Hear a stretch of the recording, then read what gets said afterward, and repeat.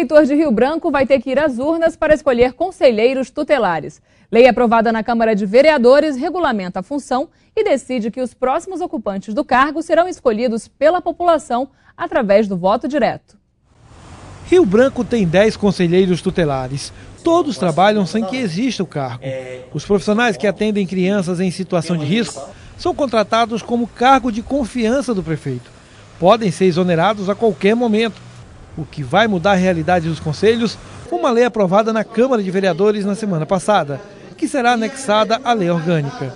A função de conselheiro tutelar será regulamentada a partir do ano que vem. Nós tínhamos é, eleição no primeiro conselho é, em 2012. Claro que nós, esse mandato de, do, do, primeiro conselho termina dia 10 de dezembro de 2012.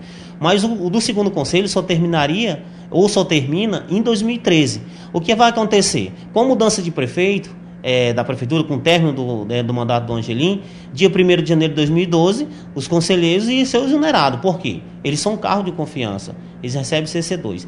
Com essa mudança, não. O que foi criado com essa mudança dessa, é, na lei? Onde a prefeitura, o município de Rio Branco, criou 10 cargos de conselheiros tutelares os dois conselhos de Rio Branco. Outra novidade na lei é que os próximos conselheiros serão escolhidos através do voto universal. A população de Rio Branco vai votar nos nomes que foram lançados. A primeira eleição será realizada em novembro, assim que estiver concluída a eleição para prefeito e vereadores. Mas para ser candidato ao conselho, a pessoa deve ter trabalhado no mínimo dois anos com programas de atenção a crianças e adolescentes. O candidato também terá que passar por uma prova.